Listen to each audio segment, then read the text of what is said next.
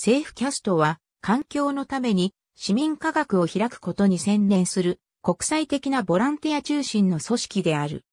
政府キャストは2011年3月11日の東北地方太平洋沖地震後の日本の福島第一原子力発電所事故の直後にシーン・ボナー、ピーター・フランケン、伊藤実一によって設立され、電離放射線モニタリングのためのグローバルなオープンデータネットワークを管理している。Safecast チームは、 International Medcom、東京ハッカースペース等のボランティアの助けを借り、放射線マッピング用の様々なデバイスを設計した。 Haiyan Zhang は日本全土で広く使用されている放射線レベルのインタラクティブマップを開発し、 Safecast の形成段階でマッピングコンサルタントを務めた。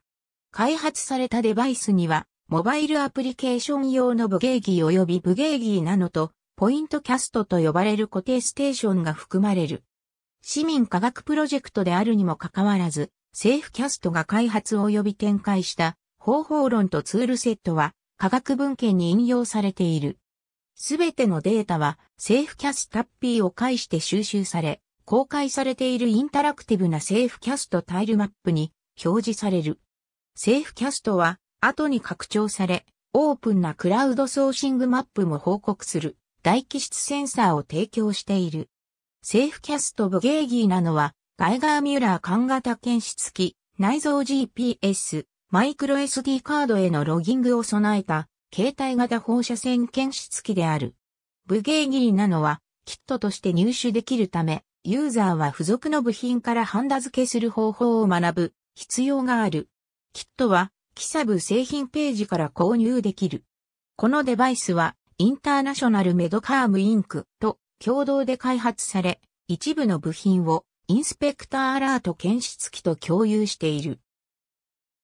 Safecast GitHub ページによると、 bGeigie Nano は、 Arduino Fio、GPSBee、OpenLog、及び Inspector Alert、ガイガーカウンターを使用した bGeigie Mini の軽量バージョン。目的は、すべてをペリカンミクロケース1040に収めることである。ブゲーギーの最終バージョンは小型のペリカンマイクロケース1010内に配置されている。LND7317 パンケーキガイガーミュラー、管型検出機、GPS 受信機を備えており、Bluetooth モジュールで拡張可能である。モードスイッチは、ジオタグ付き放射線ロギングと GPS なしの測定のどちらかを選択できます。ベクレル、平方メートル値も表示する。ケースの内部では、ユニットはガンマ線用に構成されている。ケースから取り出した本体は、表面汚染スポットメーターとして注意深く使用するために、さらにアルファ